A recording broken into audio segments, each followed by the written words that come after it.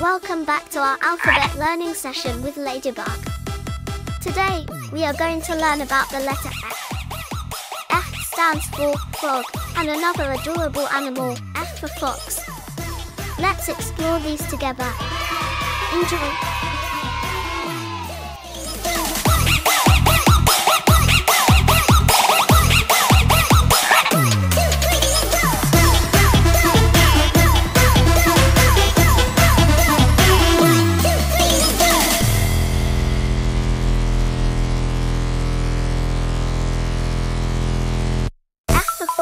enough for fun.